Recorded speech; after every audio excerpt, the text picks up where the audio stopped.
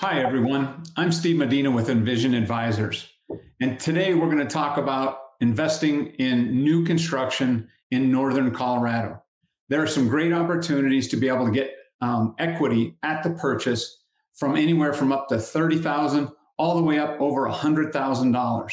But investors need to know the kinds of things about new construction that are different than resales or, or fix and flips so we're going to talk about the pluses, minuses, and the important considerations that investors need to know in purchasing new construction in Northern Colorado. And so with me today, we've got a couple of guest partners in crime, whatever you like to call them, but it's Newt Wyler, who's our broker and vision advisor partner up here, and Troy Howell, who is our loan officer for Nova Home Loans. And so I'm going to invite them in and say hello and uh, you know how are you guys doing today? Good, good. Okay. Hi, Steve. Me, Steve Newt. Nice to see you guys. The beauty of technology. So, what we're going to do today is we're going to go through and I'm going to set up just a little bit about what's going on in the new construction market and, and why it's important for investors to think about new construction that they might not have thought about before. So, let's take a quick look. I'm going to put this up so when we look at our strategies, and I'll try and clear just a little bit of this, when we look at the strategies that are working today in a higher interest environment, we're seeing still that long-term rentals, you know, is kind of one of the straightforward one, and house hackers. So those are two of the still, you know, opportunities there. What is challenging is to find the right deal at the right price to get it to cash flow. But there are some opportunities to buy equity at the beginning, and here's why: because we're seeing that now new builds are making up one third of the houses on the market. Traditionally, they're about 10 to 14%. So they're double that because new construction is, uh, I guess, uh, coming from a zero entry point where a resale is somebody that has it. They might have a good um, interest rate and they're concerned that the interest rate environment today is depressing that, that opportunity to sell their house at the best price. So we're going to talk about a handful of things today about what things are benefits about new construction, what things are challenges, and then some key observations that investors need to know in order to be able to make the right choice to buy new construction and put it in their portfolio to grow their wealth. So I'm going to flip back to our group here, and we're going to talk a little bit about some of the benefits of new construction and so, Newt and, and Troy, you guys have been doing this uh, a long time. What are some of the things that you guys think about, like leveraging incentives and some of the um, uh, some of the discounts that are going on today with new construction? And Newt, you have a pretty good idea on this stuff, and we can show a couple of examples in a minute. But what are you seeing out there with some of these new builds?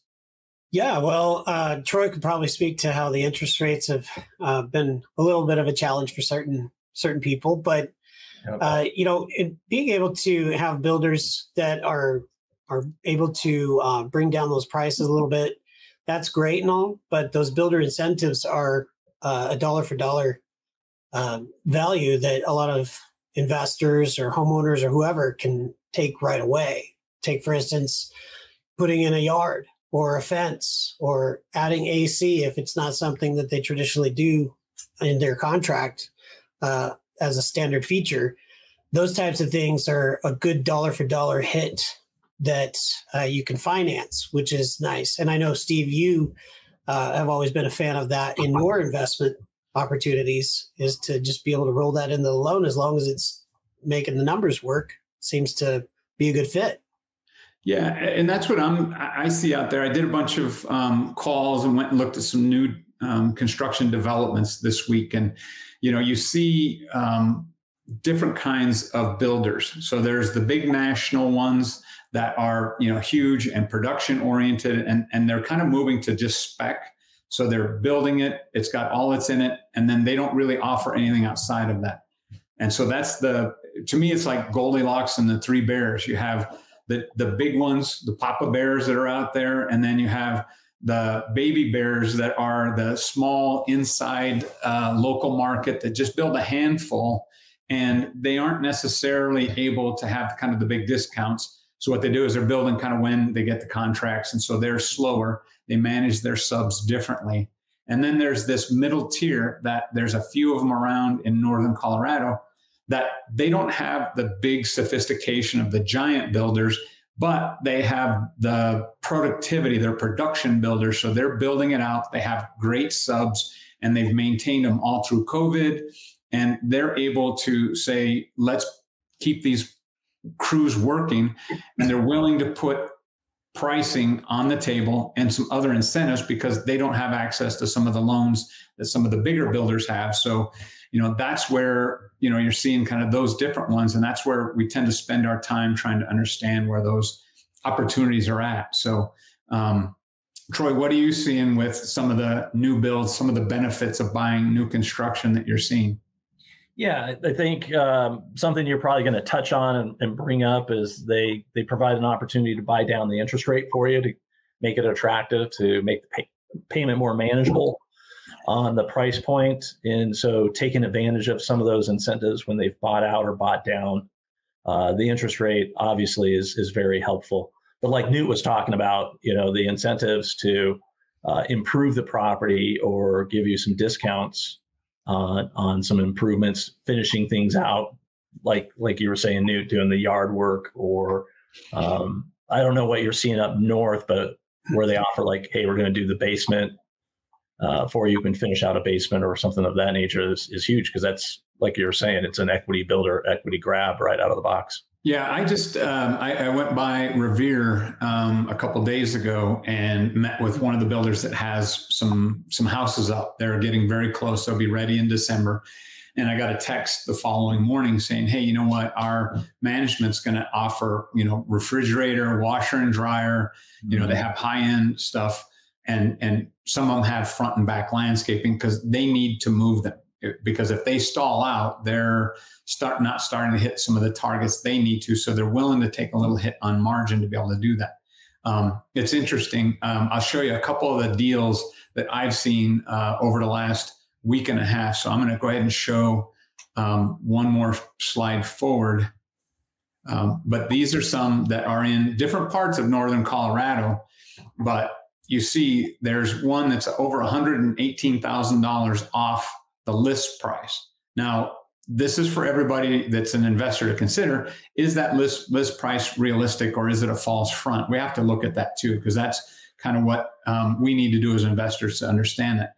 But there's others out there that are, you know, eighty-two thousand dollars off. And when we look at some others that are up here that um, you know have opportunities with another builder that's up here, you know, we're seeing you know anywhere from fifty to forty thousand dollars off. And they're also providing a 3% seller concession that they can do a rate buy down or they can use it to offset those um, items like you know landscaping and that that certain builders do. So it's you have to know which builders are do, offering which things and, and then how best to organize that for your um, for your i guess investing priorities so um, I tend to like everything baked into one. So I bought four in the last couple years. And because I can roll everything into it, um, and I had none of these incentives. So every single one of mine is at that list price where they're at. And so I'm hoping for and working for appreciation past that. The people that are coming in now are actually getting it lower.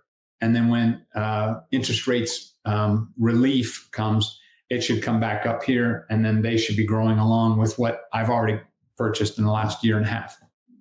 Well, and, and the builder that you've uh, been friendly with and, and gone through, Steve, uh, I know that they uh, are friendly to outside lenders. They don't have an in-house lender or an affiliated lender relationship, which is where Troy comes in, so right. that they're able to they they'll give you those incentives and say bring in your lender, you can buy down the points or whatever, and use your lender, which is awesome because a lot of times those lenders are going to offer those super you know uh, super rates that they've already bought up but in, in fact troy do you want to talk a little bit about that i know that we're speaking to investors and investors that are m- more savvy tend to to watch our program but uh, sure. just for someone that may not have that education as to how that happens how can they offer this and everybody else is here yeah, it'll and at, at, the end of the day, and you can correct me, Newt, if uh, if you feel differently about it. But really, they they build it into the price of the home, right? Everything's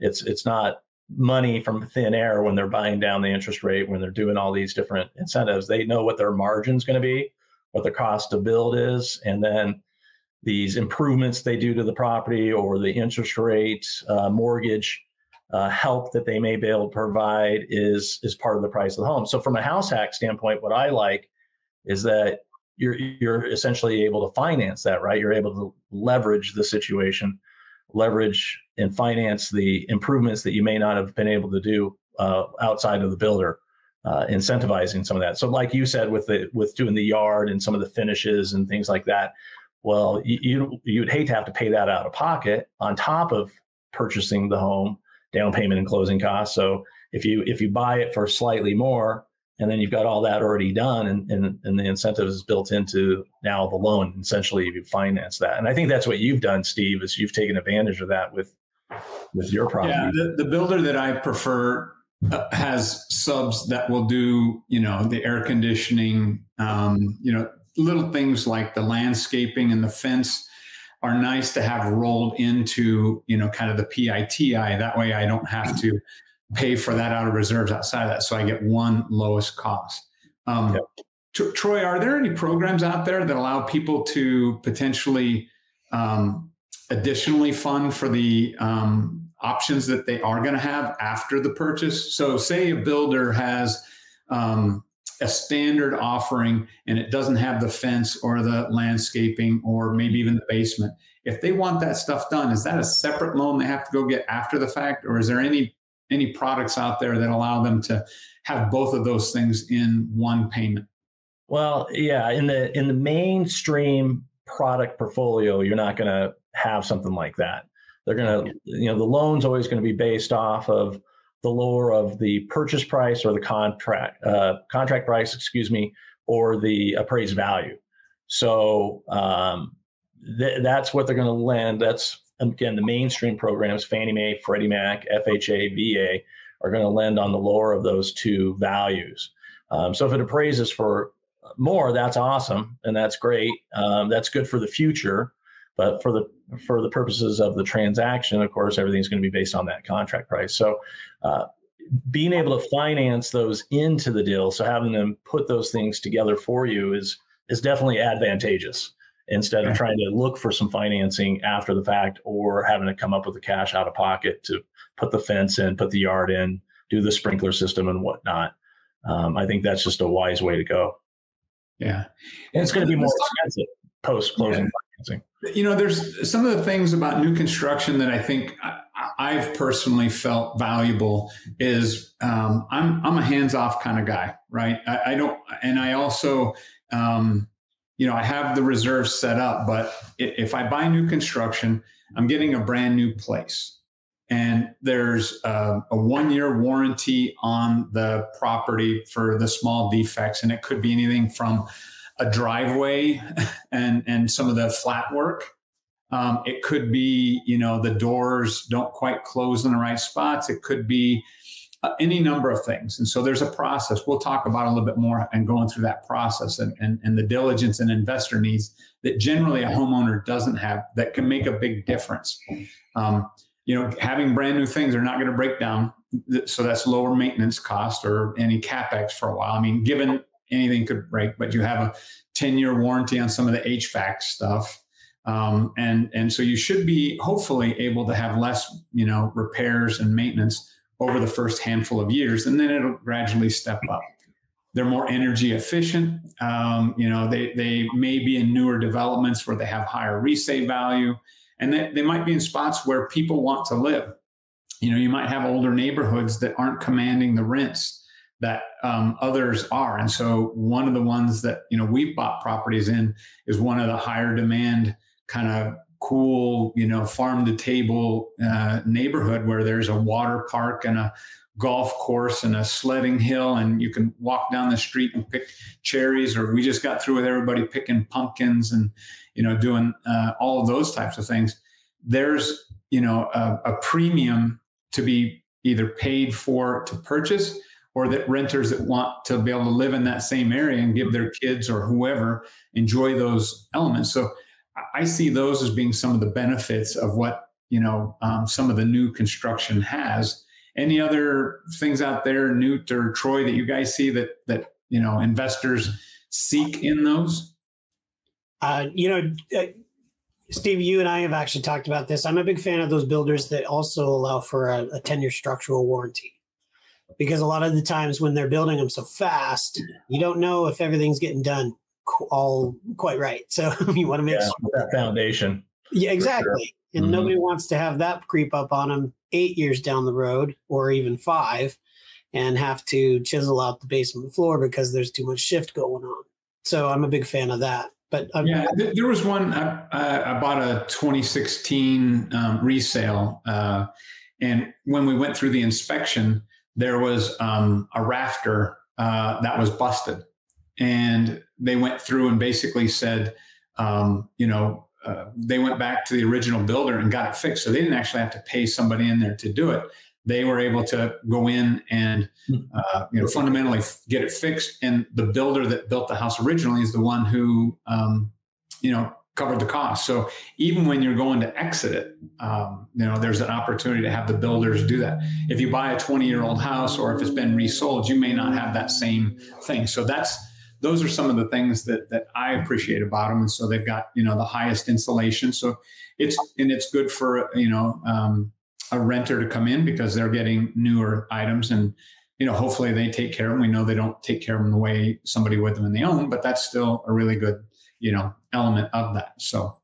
Can you can you touch a little more, Newton, Steve, on the how how the rents look for those new houses, how they are are they going to be how much above market that you can expect or look to uh, uh, rent that house for? You know, here's a brand. I mean, it's not very often that you can go in and rent a brand new house.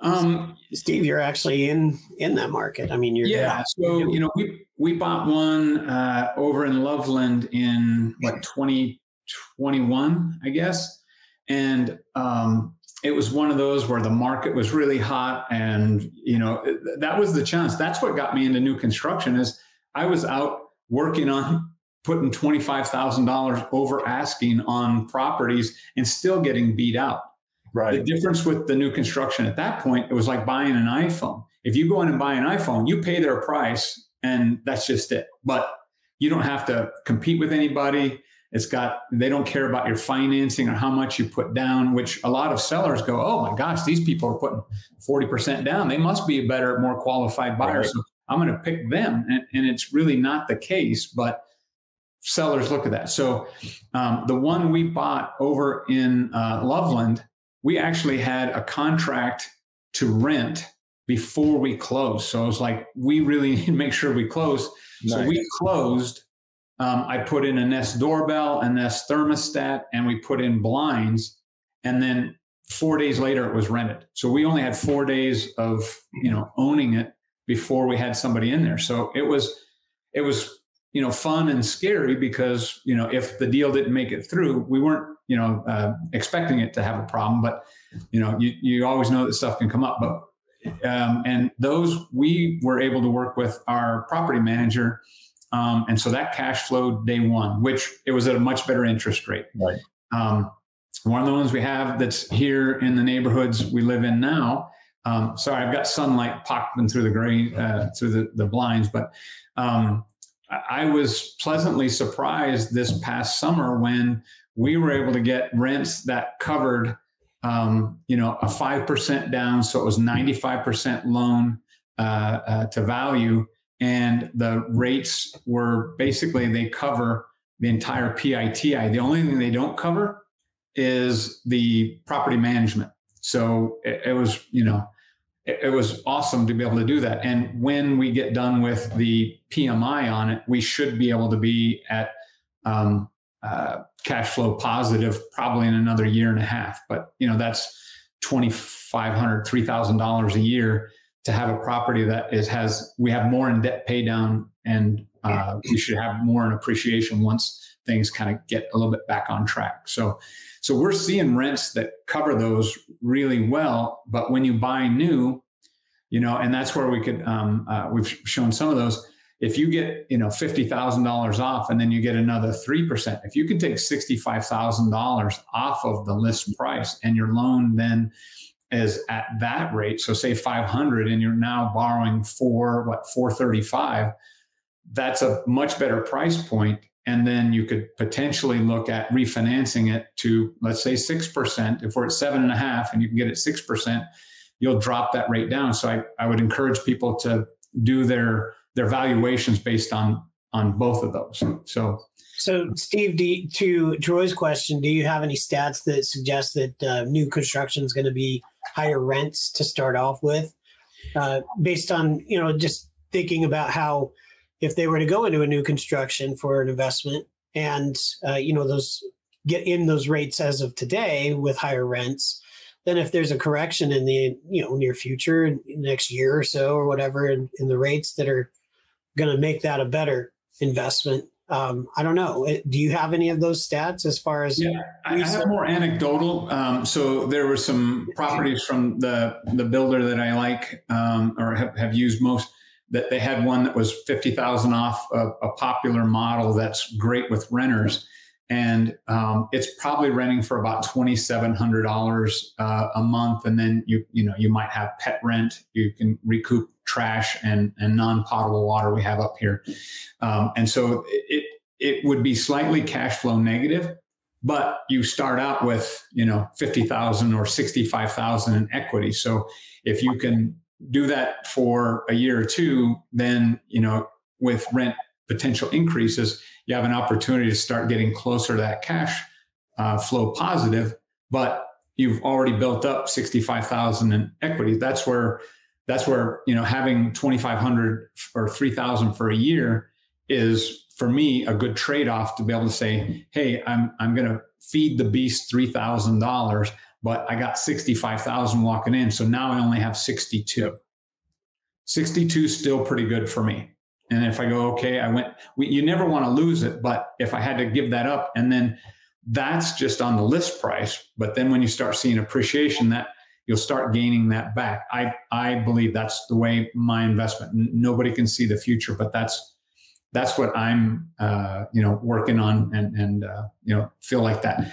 I think, you know, during the time of year. Summer is obviously the best time to be renting because that's when the most people are out there trying to rent out a property this time of year. You might get a hundred or two hundred dollars less per month, but you might need to see if you can, you know, um, adjust that when you get back to the next turn. So um, that's so I, I do think there's room in there to to fund the cash flow negativity with purchasing equity. That's basically what if somebody's comfortable with that, it's a great investment um, to be able to kind of take the long term view on it.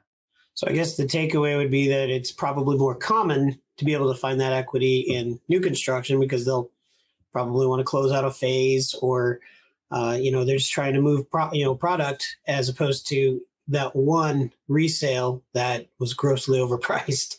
That's right. the only way you're going to get that and it went to be a stale property, that's the only way you're going to get all that equity if they just have to go.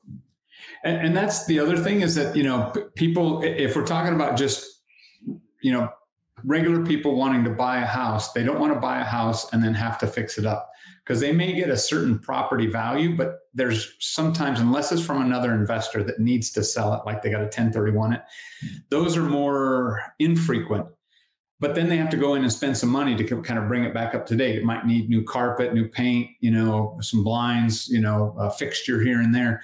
They've got to find that out of pocket. Then they've got to turn around rent it. So it does make it more challenging for them to fund that. And what I like about some of the new construction is you can get some where you can wrap everything up and then you just have that delta versus your rent. And then you deal with that until you know your rent is above what your expenses are. And you didn't have to pull as much out of um, you know your reserve. So if you're going to live in it for a year and you could put $25000 down and buy $65000 worth of equity you know that's that's you know what a 250% um, return on investment going in and then you just start working from there now it, having to give up a little bit each time you've got such leverage and debt pay down in those that it it it really provides a value. So um, at least that's you know. Yeah. That's my view on it. I was talking to somebody earlier and I was listening to a podcast on BiggerPockets yesterday. And they were talking about, you know, do you have problems? He says, no, I have puzzles. And it's how does the puzzle fit together? But that's based on what you need to see in your investing you know strategies because it it may not work for somebody else. Somebody that's younger and wants to put more sweat equity in it might be different. Uh, it's it's it's that um, just right for for some. And and those are the ones that are going to come in and say okay i can feed that beast for a year and a half or two. Look at refinancing it then i've got a cash flowing property that's got more equity in it and I've got you know uh, sixty five or seventy five thousand dollars worth of equity after a year and a half. Um, and because we all know that when interest rates do start to drop a little bit, the buyers are going to come off the sidelines, and then there's going to be you know uh, a lot of competition. And what that does for pricing, it takes it back up, and then all ships will rise. Yeah. So and you start losing a lot of those incentives too uh, from the seller as and well. Troy, uh, Newt was going to ask you a question, then I'll ask a follow up. Sure, fire away. Oh, I was just going to ask when Troy was going to bring those rates down. Well, you know, I have it scheduled for April 1st. Okay. Good. I'll let everybody know. yeah. No, just just our our select group, right? You yeah. Know, we don't want everybody, you know, just just our little our family of, of friends. Troy, would you talk a little bit more about? I, I know we talked briefly the other day about, um, you know, there's there's builders that have um, some they they can either buy loans, buy loan dollars to be able to offer. They've got their own lender. How should people think about using you know like Nova Home Loans and or the lender and and, and maybe they should look at both, but you know what have you seen that you can either offer competitively and, and how might investors think about that when they're looking right. at new construction well kind of along the lines what uh, newt had mentioned earlier is um, you know some of the builders don't have a in-house lender so that's always great if you've got lending lined up and you're pre-approved ready to go and can take advantage of any incentives that that builder can provide but uh, some of the bigger box builders may have in-house lending uh, and they're going to offer incentivization for using that lender and give you some discounts, uh, maybe on buying down the interest rate um, or even the incentives or a combination thereof. So, you know, being able to take advantage of that is is what you've got to do. It can make the numbers make a lot more sense in this current market environment. Um, a, an example that I had where and this was years ago with Richmond Homes, as they were closing out a subdivision and they gave $100,000 discount, but they had to use the in house lending to get it done. But we came back post closing and refinanced it within two to three months and got them a better rate by three eighths of a percent. So we, we, we strategized. It's kind of a loan hack, uh, you know, hack in the house, but hack and loan, where you, you want to take advantage of any builder incentives you can. But if you can, optimize the loan as well at some juncture in time or as soon as possible, then you want to do that as well. So um, in that case, you kind of take advantage of the hundred thousand dollars off, which was kind of to your whole point of yeah. building that equity right away in that uh, that purchase, and then um, and then we optimize the interest rate shortly thereafter. And we structured the loan in such a way to where you're not spending a boatload of cost to do that first loan. You don't want to pay closing costs twice if you don't have to. Right. The way we went about it. But we had kind of a strategy going in and we basically did two loans simultaneously. They did a loan with the builder, put that together, uh, got it closed, and then shortly thereafter refinanced uh, yeah. into a better position because there's no prepayment penalty on that loan. And that's where the, the, the nugget for me on that one is, I think for investors is, you know, explore your options don't just go with what's the, the, builder has but but have conversations with somebody that's skilled like troy so that you know that and and and that way you have you know multiple options because there may be an opportunity to be able to do both um, like right. you just said you you, know, you can get in there and get that that rate yep. because you know right now somebody could go in take the rate buy down but if they go refinance it in two years the value of that rate buy down today isn't going to be near as as valuable because they're just going to recirculate it. it might be better to take that as a discount on the price right now versus or know, upgrade because they're going to redo that in two years. Yeah, or upgrades to the home as well.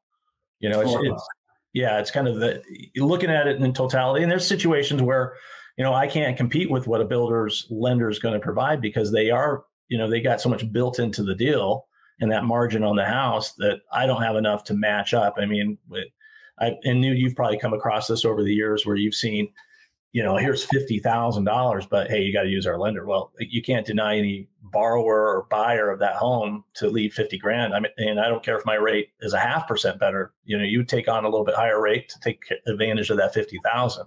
Sure. So um, that puzzle you're putting together that fits. Again, yeah, it's not the problem; it's the puzzle, like you pointed out. And so, just strategizing and kind of looking at the various scenarios and ultimately it might it's just kind of reassuring you know if i can look at it and say yep that's that's a great deal i, I would take advantage of that builder's financing that they've got there that's going to check the box in that area and then we can always look at revising things if rates present themselves in such a way to be able to to improve you know that's troy awesome. i'm glad you said that. I actually want to touch on that just so that uh, people understand that uh, lenders like you that's how you know you have a good lender right? When you're you're looking at the deal for them and you're like that's an awesome deal. I'd take yeah. that. That's how you know you're working with somebody that's on the up i appreciate that. Yeah. Yeah and it is what it is. I don't begrudge people when when you see that kind of opportunity. I would take advantage of it too for crying out loud yeah. And that's what that's what we're all trying to do is help people get you know the best. So so let's switch gears just a little bit and talk about some of the challenges that um, you know people have in in buying new construction. And you know, yep. one of the things that kind of jumps out right off the bat is is it's a different contract, um, and and and investors may be familiar with that or not, but most of the time, the Colorado real estate, you know, uh, contract is a fairly standard one, and Newt and I are um, correctly trained and licensed to be able to co- consult on that or be able to to be able to administer that contract. Builders have different contracts builders have contracts that favor them. And so Newt, maybe talk, you know, just a little bit about that and representation because some of these um, some of these buyers or excuse me, some of these um, builders have representatives and they may or may not be a realtor. And and what does that mean when somebody goes in to talk to them? Hey, yeah. can I can I throw a little bit in front of you, Newt, on sure. that? Um, just from my experience, it's it's huge absolutely huge to have somebody like Newt and Steve representing you to go in and buy a new construction, new home. And, and, and Newt, you're going to elaborate on this, but from my experience on my side, and exactly to your point, Steve, is that the builder's looking out for the builder, the contract is slanted towards the builder, um, and they're all different, you know. And so having a representative that knows the contract and can review that contract and then hold the builder's feet to the fire um, when you're dealing with the builder's agent, they're representing the builder. And so you want somebody representing you. And it really doesn't change your pricing on buying the house. The builder puts more money in their pocket. The, the agent representing the builder maybe get a little bump or incentive for double siding it, right? They're representing the builder and they're, they're bringing the buyer in as well and representing the buyer in, in whatever capacity there. So um, I've just seen so many occasions where maybe there's a defect in the house when you do a walkthrough and your representative having Newt there to say, hey, you know, we need to have this flooring uh, addressed over here because it's not right. And uh, and negotiating with the builder, we've I've had a lot of even recently in the last few months where the flooring wasn't right, something wasn't done correctly, and, and having somebody representing you to get that done because you're spending a fair chunk of money. You want to you want a quality as well built house as possible. So having that represent, representation to walk you through the contract and hold the builder accountable um, is is priceless in my book. So having Newt uh, is is huge. Oh, I agree, and thank you for bringing that up, Troy. Because a lot of the times, uh, to your point, Steve, a lot of those builder reps are unlicensed salespeople, and so they directly work for the the, the builder. Yeah. And so they may be your best friend and you know, hey, we're they they might have been a licensed agent at one point in their career, but they've had to put their license uh, their license on ice because the builder won't allow them to continue to be a licensed real estate agent. Because it'd be held to a standard. They're still supposed to be fair and honest in their yeah. dealings, but uh, ultimately, it, it is, to Troy's point, it, it is important to have their own representation because, as a buyer, because like you said, Troy, I, I've gotten a lot of kudos from my clients in the past where mm-hmm. if I'm if we're going through a walkthrough a week earlier, then we're coming through and we're not seeing things getting done, I will call the the builder's rep every hour all day until it's done, and then they just get sick of hearing from me yeah. because that's what I'm there for. I'm here. I'm here to protect my clients. Right. You, you don't want that's, that's, the builder wants to close. They want to close and get their money, and then oh, we'll take care of it after the fact. And that's yeah. where Newt comes in and holds her feet to the fire. It's like, hey, we'll just postpone closing until you get the stuff done. Yeah. But they once you know, it's like lending money to a, a friend or a family member. They they want it up front and, and they'll do everything to get you to lend the money. Then when it comes to payback time, they'll they'll get to you when they when they get to you. And the builder the builder wants to sell more houses, so all the contractors are down the street working on the next house. They don't want to come back and clean up things that they did before. So and a lot of times they may run into those warranty things. Oh, well, don't worry about it. It's under warranty. We'll just mark it here and we'll get it yep. done. But what they don't tell you is that they have that whole 12 months to get it done. You do the repair. And still, yeah, exactly. So we'll sit in the house there for for months and months with with stuff that's wrong. You know what? I, have been more than 18 months. I, I think the one thing I want to add on that is, as we as um, licensed Colorado real estate professionals, we're not able to provide as much um, guidance on builders contracts. So that's where we tell people that you know speak with your attorney and, and your lawyers. But what we can speak to is we do know how the, how the builders work. Um, we, you know we'll follow up. Uh, there's a lot of people that go in there, and when they don't have representation, let, let's just take radon for a second. If you don't ask about it, they're not going to mention it. You buy the house, and then you find out. Oh, you talk to your neighbor, and said, "Oh yeah, I talked to the builder, and we had a radon inspection that was part of the you know pre-build inspection, and the builder will pay for the mitigation and prior to closing. yeah, and I didn't get that. Well, that's because you don't know how the process works, and that's where new build does some of that. Um, you know, th- there's there's a lot to be done in those that being diligent, and we'll talk a little bit more on the considerations. But you know, w- when you're looking at buying, there's some. Um, let's talk a little bit about some of the different nuances. Is that let's talk about options and earnest money and money going hard. A lot of people aren't really familiar with that because on a resale, if I go in and do an inspection and I go, I don't like the way this looks, I go, okay, I, I can, you know, get out of that and I can get my earnest money back because there's something that I have met the standard of the Colorado real estate. But in a builder's contract, once you sign that, you start to run into things where you go, you're in it or you are out some funds talk a little bit about money going hard and, and earnest money. Yeah, I'm not a, a, huge proponent of those builders that do require an upfront non refundable deposit. Uh, oftentimes it's a significant amount, around like 25,000 or so, which is that's a lot of money. And when I have a client that says, okay, we're going to do this, it's like, great, you're buying this house because if you don't, you're out that 25 grand. But uh-huh. as far as like when it comes to like the options and stuff that you were just talking about, Steve, um, the uh, well, now I'm losing my train of thought because I've started getting upset about this non-deposit. right, it really wakes me up. Yeah, I'll, I'll, let me throw something in, uh, Newt. Maybe you'll come back to that, but um, keep in mind that the upgrades and the money that goes hard on those upgrades do get applied as a credit back to you at closing.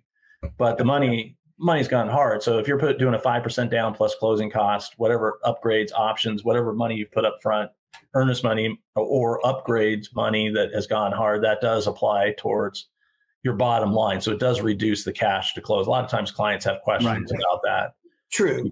Yeah. And you're, you're correct in that. I, I'm just, uh, if it's not closed, there's still an opportunity for it not to close in my mind. So I always, always want to try to protect my buyers. 100% from uh, that's where you know if you're going in you you better be all in because you know sure. there's some uh, builders that if you say hey i want these options the moment you sign saying i want these options you pay half of those in earnest money again as, as that and that money goes hard the moment you write the check so if it's 12 or 20 thousand dollars that money i mean there may i've seen some people be such a, a gadfly in pain that that the builder finally says i don't want to deal with you and they might they might do that. But for the most part the builder wrote the contract to favor them and and that you know it makes business sense for them.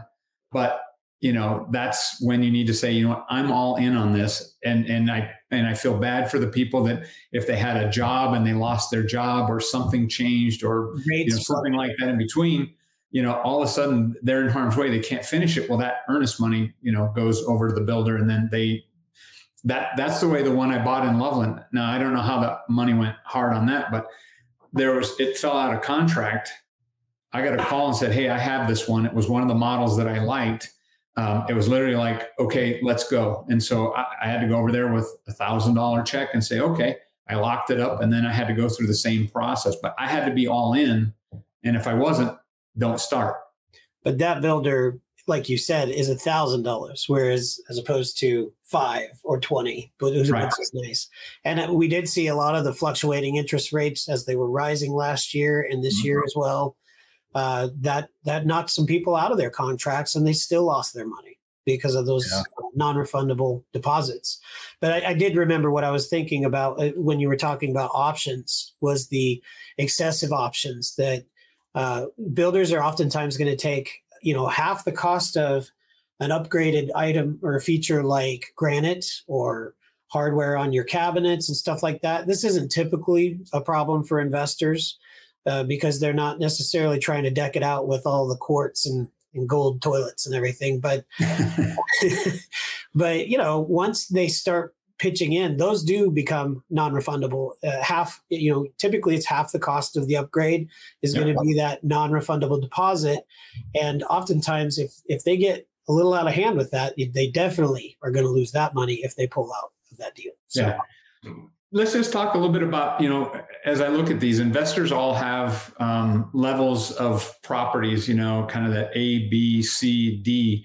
You know when they're in some of the d's they're not worried about a lot of things with them. When they get the c's b's buying new property new construction in an area um, you know one of the things the reason i like the builder that I, I, i've been going with is they're kind of a production builder. They've got Formica countertops. They have you know carpet. They have some vinyl. It's a it's a really good rental product. Uh, you know, I've known some people, some other investors that went in and said, "Well, I was going to put you know granite in eventually," and I just it's not the way I think. I put in a few things you know there's certain things that they put in that are builder grade like there's a faucet in the kitchen sink that's that's really kind of heinous and probably costs seven dollars. Well i'd rather go spend 90 bucks on a big swan neck one that when somebody walks in they go oh that looks nice. So you know some of the options that investors want to put in you know they may want to be careful about making it for them to live in that that fits their needs versus what is probably the right level for renters. And i'm not saying that renters don't like nice stuff. It just might be that. I, I put in a Nest doorbell and thermostat in each one. And I've talked to some of the renters like, oh, yeah, I don't use it. Well, I was trying to put together like a tech package so it might be a little bit more attractive. You've got a, a MyQ, you know, uh, uh, you know, garage door opener. You've got, you know, a yeah. Wi-Fi thermostat, and you can see people on that. That security. You know, some of those things are kind of nice to have in the house for some people, and some people are like, yeah, I don't use them. Right. Yeah. It, depends on you know what you think. So I spent uh, what a Nest doorbell's three hundred bucks, and the therm- maybe it's the other way around. A thermostat's you know three or four hundred dollars, and so it's like eight hundred dollars for the two of them. But I thought that's hopefully going to get you know a better um, a level perceived upgrade. Yeah, yeah, and, and perceived. So you know people have to make decisions about that. Um, we're kind of moving along pretty quick here. Um, or, or we're covering a lot of territory, so we might not have it covered all. Um, I'm not going to really talk about um, construction delays because, uh, well, let's take a quick second and talk about them and what that has to do with the loan. Um, because if if I have a, a, a new build that's going to take you know um, four months that they're projecting, and I get a loan locked in with Troy, what happened? Can I lock in long term loan commitments? And what happens if my builder moves? uh, the timelines back on me, Troy? Yeah, there's there's definitely long term locks are, that are available, uh, but they get more costly. The longer the lock, it can be a little more pricey as far as the terms of the loan go. So uh, the shorter the lock, the better off you are. So you want to make sure. And again, this is where Newt and and Steve, you guys come in to you know make sure that the builder's chipping along. yeah, bring the hammer. Yeah, make sure that they're moving along in a timely fashion, especially when you go to lock because now you have a date. So I usually try to lock it reasonably um, within the closing projected date and maybe give it some padding. Uh, there are some extensions that can be done to the lock, um, which you'd want to take advantage of if the market's moved away from you. Um, so, Troy, let me ask you two things. Um, when I lock in and say it's for 90 days or 120, um, yep. and I know those costs, two things. One, um, does the amount that I pay as a premium upfront to lock that in, does that apply towards the closing cost, towards my loan cost, or is that just a fee that I pay? Yeah, uh, uh and I'm going to say depends because there are certain situations where it does count as buying the interest rate and holding it, and sometimes it's here's the rate and it's just to hold that rate. So there there are different scenarios and could be packaged different ways. So okay. kind of a vague answer, but but truly the case. And, well, and if I could, because my, my experience uh, was a couple years ago that they were a couple weeks behind. So I would, so my loan commitment um, for an mm-hmm. extended lock was um, all went towards the loan cost. And then when it went over by, I think, two weeks, I paid more to be able to to extend that, but those still went towards it. So I kept paying, but it kept helping. I guess I, I wasn't sure. just paying a fee. So are there different programs people could talk to you about that? Absolutely. Yeah. Okay. Different ways to different different lock levels, different lock time frames will will have different uh, requirements. Like 180 day lock. I've never been a fan of super long locks uh, because they're, they're, the pricing is just so uncompetitive and if the market stays flat, the rate's going to be so much better on a 30, 45, 60 day lock than what you would have gotten with that 180 day lock. So it's really, you're doing long term locks if you're really anticipating the rates to head south. And in our current market, we're, we're seeing pressure that should improve the rates, is what we're uh, leaning towards. Yeah. Um, I'm going to just touch, uh, and we can talk a little bit about um, the dreaded term metro taxes and HOAs. So, um, before I started investing, you know, metro taxes, I didn't know a lot about them. I didn't really understand them. And now that I have handful of properties that have metro taxes, I, I have a different perspective on them. And, and just to kind of help people understand, I'll see if I can frame this up right. Metro taxes are bonds basically that help fund the infrastructure of uh, a planned um, development. And HOAs are what we normally think they're the homeowners association that puts the architectural constraints and, and others that basically are the operating rules of the neighborhood. And there's a cost for both. And sometimes, you know, I have some where it's got a higher metro tax and very low HOA, but the metro tax provides a lot of things that we do pay for through taxes. Or if there's no metro tax, you may have to pay fifteen, twenty thousand dollars more for the property up front because they don't have a metro tax and they have to have each house contribute to the funding of the streets, the sewers, the lights, and other things. So, any other comments on HOAs versus you know uh, metro metropolitan districts that you guys want to add in there that you know uh, people should know about? Uh, I'm actually seeing that there's in certain neighborhoods, the metropolitan district is acting kind of like an HOA. So they've got the yes. covenants, the governance, everything.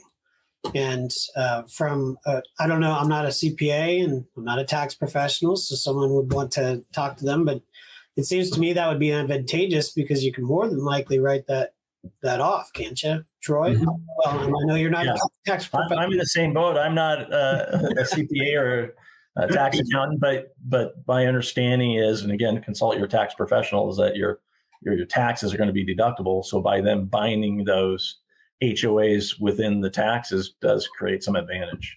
and it's rolled into their payment, whereas HOA payments are not. So that's a separate payment, which yep. is something that they need to consider for their debt to income. Yep. Yeah. Um, I, I, I, think on those, the other thing is just, you know, some uh, investors buying places, it's just always good to look at the HOA to see what their regulations are. Uh, because there's been some HOAs that started to say, that um, you needed to live in it for a year. They were trying to fend off a lot of these iBuyers that were coming in. So they said, hey, you know, one way to defeat the um, big corporate spending was is to say you have to live in it for a year before you can rent it. Most HOAs that I've come across don't have short term or medium term ability. So the neighborhood I live in now has a minimum rent of six months. And so you you can't get a medium term you can't do an Airbnb. You know, you have to know that going in and you look at those HOA documents. Um, so well, short-term rentals in Colorado as a whole are are kind of saturated. Real headwind now. yeah. Um, one other thing uh, that, that's a good and a bad about um, you know uh, new construction, especially for investors, there's limited choices. Uh, if you're a regular buyer and you have plenty of time, you can kind of pick it and know when they're going to release it, and then put your money down on it and then it takes time to build and then you buy it. For an investor, you want to be saying, okay, I've done my due diligence on these kind of buyer, these kind of builders and these neighborhoods. And when there's an opportunity, I know what it looks like and I can pull the trigger. And so that's where, you know, with the builder that I, I tend to prefer, there's a model that I have a couple of that I know are good rental ones, which you know, if that one comes up, it's a really good opportunity. And, and that way people aren't worried about, you know, Hemin and Han, they've already kind of made the decision on the acceptable ones. And when it pops up with, as it gets close to being completed, the discounts get higher and higher because they don't want to have that sitting on their books. There's a chance for them to be able to take that, pull the trigger really fast, get into a place, get fifty or sixty-three thousand dollars off of that right at the onset. So um, you may not be able to pick the colors of the, you know, the floors or, you know, some of the house and that you get what you get. And, but you get, you know, that um, delivered immediately. Any other thoughts with kind of limited choices that, you know, are good or bad? Well, they may be limited choices, but they're newer, like you said. And I mean, even investors that have current uh, already, you know, they've already got rentals that say they were built in the 50s and they've just given them headaches with pipes or water heaters or whatever, I mean, maybe they want to list it and they yeah. want to move up into a new construction because, you know, they're maybe that price point of the, the previous rental makes sense to list it, move the money over 1031 if it makes sense to uh, gain those tax advantages and get into a new construction that has those warranties and stuff. You never know. Yeah, yeah, yeah. Those and those are good things you know, speak, speaking of the warranties, just as an investor that has purchased new construction, one of the things I found is it's being really diligent because the builder is um, in a business that they want to sell you a house and they want to get on to building the next one. And when when you're looking to to purchase, you know, some of the things that kind of get in your way a little bit, or just to understand is, you know, uh, talk, you know, maybe Troy, talk about appraisals for a minute because a lot of times they're scrambling to meet a deadline. It's still got a lot of things that aren't done two weeks out. You need to do that final appraisal. Oh, yeah. You need to do the appraisal to say, yeah, it's pretty much going to be that. But there are times where you have to do a second appraisal. And then sometimes you have to do appraisal after the fact or a, a check after the fact. Talk a little bit about what your experience is with that, or I can share a little bit what I've kind of gone through too. Yeah, yeah. Uh, to your point, uh, a lot of times we'll do the appraisal a little bit earlier on, and the house is not complete; it's not finished. Maybe they don't have the cabinetry in or the uh, functionality fully engaged for the house. So the appraiser has to go out and and do a final just to make sure that it's done because we're we're doing a loan from a lender's perspective. We're doing a loan on a property, residential property, uh, that needs to be a full functioning property. And if if you put a loan against a property that's not there, they you know they're not in the business of owning the properties; they're in the business of collecting payments on a mortgage, and so they don't want to deal with a foreclosure that's a partially built house. So there is a final inspection just to make sure everything's done. So again, having Newt on your side, making sure everything's ready and coordinating to get that appraiser out there a day or two before closing, if that's the case. and and then closing on time with a finished house.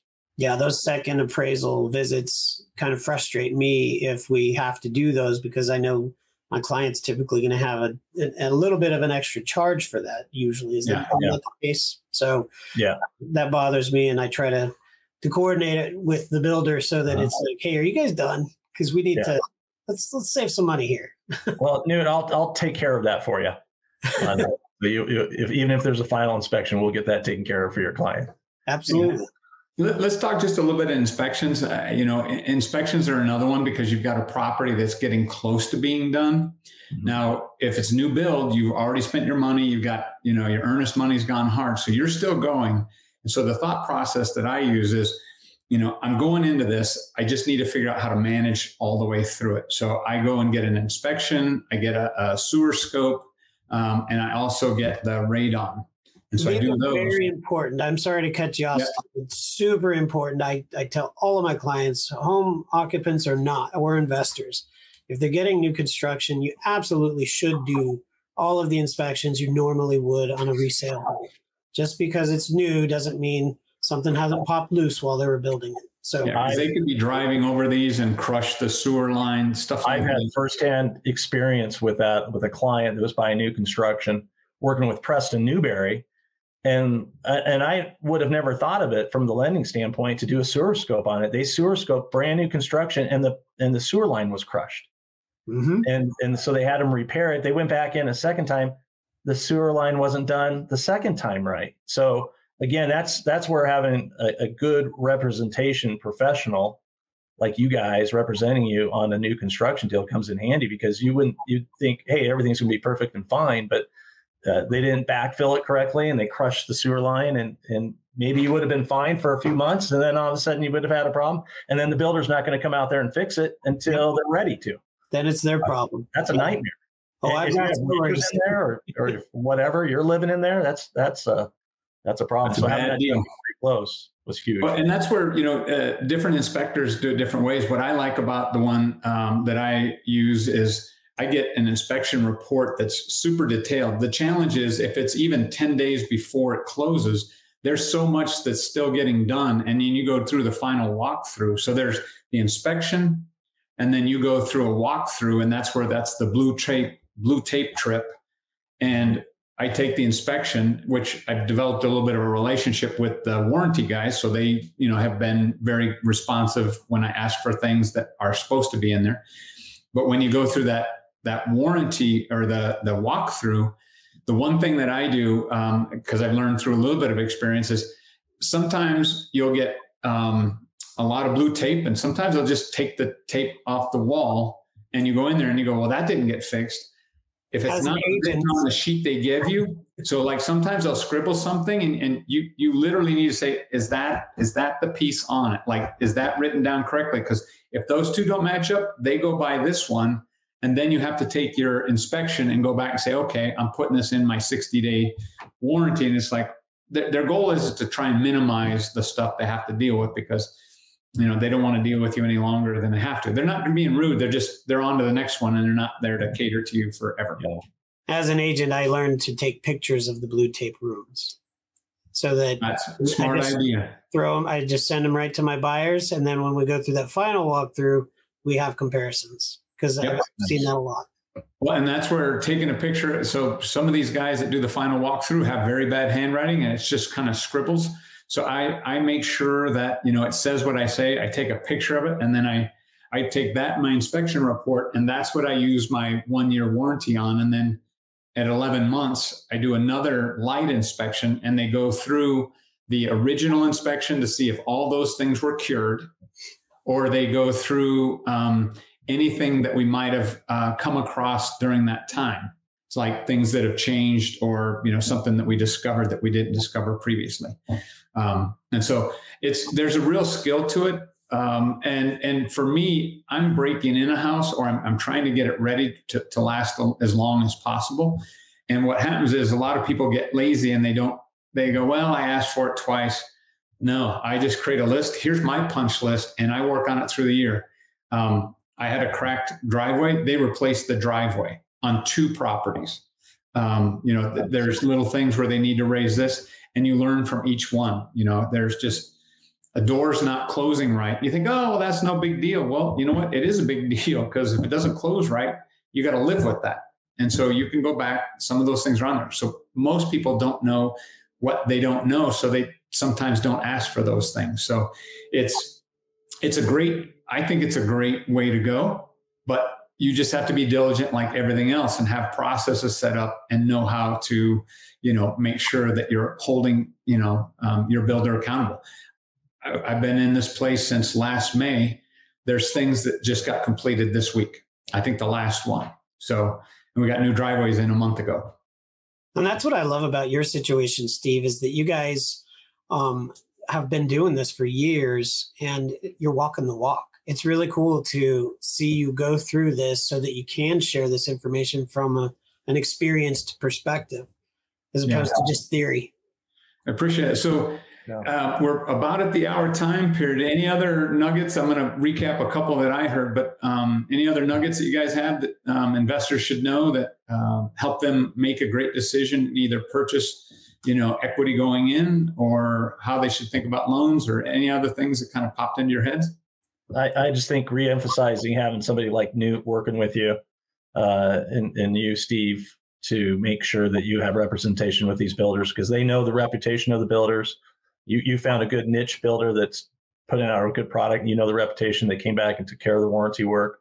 So just your knowledge and experience uh, to is has a lot of value that you bring to your clients. You. So so the things, yeah, go ahead. Oh, I was just going to say thank Troy and and Steve, but also uh, they also need to have good lenders like you, Troy, because it's important to have that experience of having gone through this so many years. It's it's it you you just don't know what you don't know, and a lot of times you just have to rely on on the experts like us that have gone through this and gotten the bumps and bruises throughout the the years just to figure it out to to help with that. Right.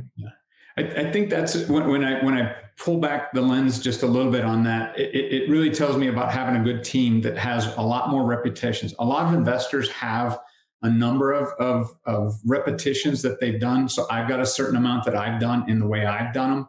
Newt and and Troy, we've all got different aspects, but when you put us all together, an investor, you know, can really benefit from, you know, kind of seeing some of the things that we see, and we see those because they're going to have certain repetitions that they've done in what they've um, you know accomplished so far but it may not be in this space. It may not be in the new build space and so there's a new space that they go oh my gosh i didn't realize i don't have to buy something go and spend a bunch of money fixing up and then keep uh, you know running the maintenance and i've got a roof that's going to be in five years i've got this. You know knowing how to work those things is i think really important to have a team like this available and so we're you know i think collectively able to provide people with more knowledge to help them make great decisions. And it may not be what fits in their model, but if it is, we can help you know make that a reality in the way that um, they're trying to project out how to build wealth. Well, and and to that point, uh, when the best when's the best time to buy real estate? It's today, it's today. regardless of the rates. That's right. Well, and that's where I'm uh, working with Troy right now, you know, personally to buy another property. And um, because between now and February is going to be a great time and, and there's opportunities out there. So um, I guess, how about I wrap it up uh, for, I guess, Troy, Newt, and Vision Advisors and Nova Home Loans. If you guys have any questions about new builds, please feel free to reach out to us. It'll be in the show notes. And um, you know, good luck with everything. Have a, a great rest of your week, and um, we'll talk to you soon. Take care. Thanks, Steve. Thanks, Thanks Newt. Appreciate you guys.